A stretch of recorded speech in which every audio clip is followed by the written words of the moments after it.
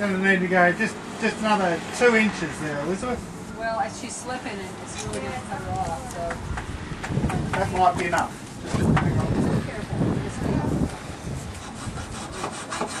Just watch you, you don't get kicked out, dude.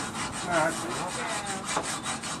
Is the sculling divider, can we remove that or not? No. Nothing. It's all welded into place.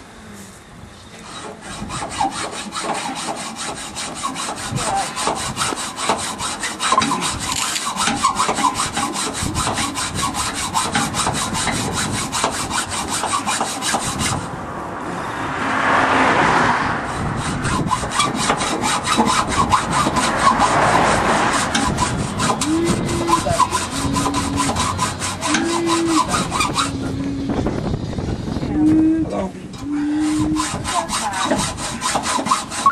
Yeah, mate, yeah. Okay.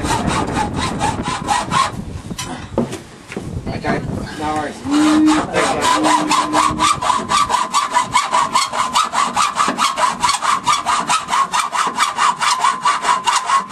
Make sure nine all alright.